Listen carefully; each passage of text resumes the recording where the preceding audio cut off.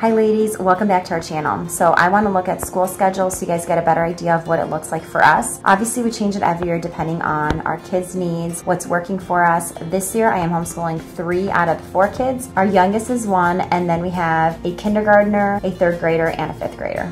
Alrighty, so this is what their schedule looks like. Typically, I have one schedule instead of each individual child, and then they use my schedule and they figure out what they need to do next and what we need to do together and so forth. But this year, because my two older ones are in fifth and third, they really wanted their own schedule. That way, they can go ahead and work on their independent work whenever they have downtime. So, I'm going to go ahead and talk to you about our kindergartner schedule first. So, we would like to follow this schedule, but I'm going to be honest with you, this is definitely not the year for the times on here. I feel like we typically aim to start start at 9.30. That usually happens. Sometimes we'll start at 10, but usually 9.30. But we definitely do not finish by 3 or 3.30. We usually finish at 4 or 5. So it's definitely taking us a lot longer than it typically would, which is 9.30 to 3.30. And that's because we have our one-year-old who interrupts, obviously. He has a lot more needs since he's so little. But typically what it looks like, it's this is Monday, Tuesday, Wednesday, Thursday, and Friday we have off. Here are some options for their Friday activities. We used to do a co-op this year with Corona and everything. We decided to take the year off. So usually our co-op is on Thursday, so usually it would be Monday, Tuesday, Wednesday, and then Friday. But it works out really nice this year to have consecutive days. So typically we start off with our morning basket. Again, that doesn't happen because usually our baby is awake at that time. So this was me apparently dreaming of it because it's not typical for us to actually get our morning basket in. So this actually gets bumped to our work together. We do those together at some point during the day. I wish I could tell you when, but I will just give you an overview of what it looks like. So usually I help her with her math and her language arts. We're doing the 100 easy lessons. And obviously, she needs help with both of them. So I'll read to her the directions and then go through the lesson with her. So this is what I usually help her with. And as I'm helping her with that, I will basically jump over and do the same thing with the other kids, the third grader and the fifth grader. I basically guide them through their math and then come to their language arts. I basically have to do full language arts with my third grader, and then our fifth grader is more independent on her language arts. But I basically jump between them for math and language arts to help them whenever they need it. And then typically what happens is there's sometimes downtime. Like, for example, if I'm working with her on 100 easy lessons and my third grader, let's say, somehow is done with math and language arts for the day, she has two options. So she could either go to her daily chore or she can move on to independent work. And there's a list. It should take about an hour. Obviously, in this case, it takes a little longer. That's because reading egg we've actually removed. So it should be around an hour mark of independent work. And each child has the independent work. And so that's kind of what it looks like. They can pretty much do all this on their own. And I needed that because I needed a lot of the in between time when I didn't know what they should do, if I was with the baby or if I was helping, let's say, our fifth grader and the two of them were waiting. I didn't want them to just waste time and sit around. So I just created this independent work. And so I have a different list for the daily chore. They're getting better about just knowing what it is, but that's basically in the kitchen. And then at some point, if they finish math and language arts, either their chore or their independent work, so notice this is not really in the afternoon anymore, then we can go ahead and pretty much I tell them that it's lunchtime. Usually we have lunch around one or two. Like I said, things are a little bit different this year. And then our together work comes at some point, typically when the baby is sleeping. So I basically will do the Devos hymnal and our social studies or our Devos character study and then social studies again. And notice science is on Wednesday and Thursday. So we do two days of social studies and two days of science. I'm going to be honest, there are definitely days when the baby is sleeping and he wakes up a bit too early and we haven't even gotten to our together work. So then I do it obviously when he is awake, but it does create a lot of interruptions. So that is has been a challenge. And if you watched my day in a life, you'll notice that he interrupts a lot and we're okay with that. Obviously, this is just a chapter of life that we're in. So I'm going to talk to you about what independent work looks like, at least for a kindergartner, and then just kind of skim through for the third grader and fifth grader because they're similar, except for she has a more just easier for her to do. So 10 frame dice, this is what I do with her at some point during the day, or she needs to count by twos that she can do on her own. Also, I do piano with her, or she'll practice piano, and this is really hard, obviously, because I want her to do it on her own because I have to split my time between three other kids and a baby. But usually I'll do a lesson with her using Hoffman Academy, and then I record some kind of song for her to play along, and I'll have her play it as she's practicing the song that I've recorded for her. So that has helped a lot. I didn't know what to do for the actual practice on her own because she is only five, and that's really hard for a five year old to be basically independent practicing their piano. But it has worked really, really well. And then the ping pink stuff are the things that she does on the tablet, and so they're in pink just to help her figure out what she's doing because obviously she doesn't fully know how to read yet, so this is just really hard for her. But she's getting the hang of what's what on here since we've used it for seven weeks now. So typing she does for 15 minutes. Honestly, I wouldn't even do it for a kindergartner, but I just needed her to have more things to do. And so I just brought up typing because she's super excited about it. And then she practices her Bible verse and independently. And the way I do that again is I record myself saying it and then she repeats it after me on the recording. It has helped so much because I feel like I have a second person, which is a recording of me.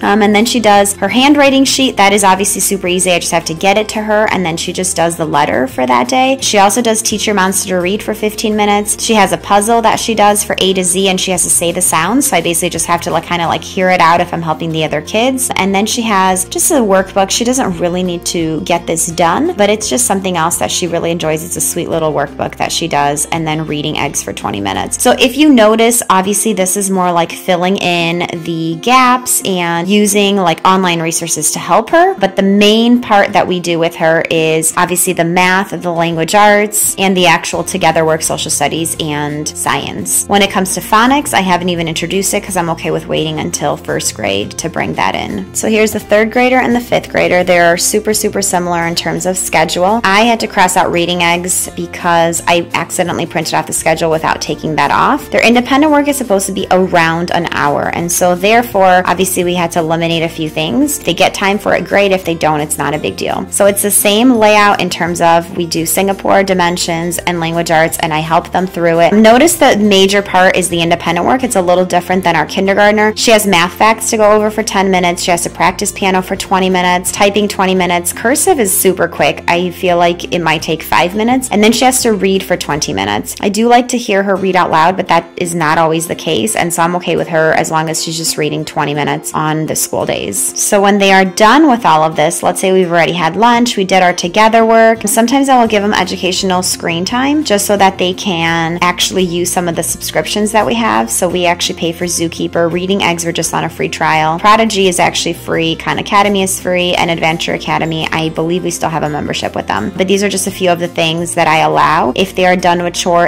independent work, and I'm not able to help them, they could definitely drop to here. Or sometimes I just give them educational screen time because we don't do regular screen time on a school night. It's just educational screen time. And then Friday, it's the same thing. They get to choose any of these, or sometimes we just have play dates. It just depends. Now, our fifth grader schedule looks very, very similar. The only difference, if you notice, is language arts. It looks like she's super ahead on her language arts versus our third grade. It looks like she's behind. That's actually not the case. It's just that we started off with the good and the beautiful for both of them, and I ended up switching her. I believe is either last week or the previous week, but we ended up switching just recently, and so I started her on first language lessons for a well-trained mind, and so obviously she's more towards the beginning of the lessons, and she's more into it. This is only 90 lessons, so I'm not concerned about getting caught up because we do it four days a week, and it's actually only twice a week. So this will work out great. But I really like how this works. Initially, it was definitely hard for our kindergartner because she couldn't read and she didn't know what any of it said. So I would just say, okay, here's what you're working on now, and I would put a little dot by it, and she'd know that's what she's working on. So when she done, she was able to check it off. And I did that for a while, and now she's starting to get the hang of it. So she'll come to me and say, oh, I already did my piano, like her piano practice, or I already did my IEW writing. And so she's starting to figure out where everything is located on here without actually being able to read. So that's really neat because it does help out and it helps her to be more independent. Alrighty, so there you have it. The schedules that we use for our kids. I don't know if you noticed, but they are color coordinated. I forgot to mention that. They correspond to the chore list and they're all color coordinated the same. And so each child is assigned a color and that way it just makes it easier. If I find one of these, let's say on the ground in the schoolroom, I know who it belongs to because their initials are on it and because of the color that they are assigned to. Go ahead and comment below on what your school schedule looks like. Is it different than ours or is it similar to ours? Don't forget to also hit like and subscribe so you can receive future future videos as we release them weekly. Have a wonderful day.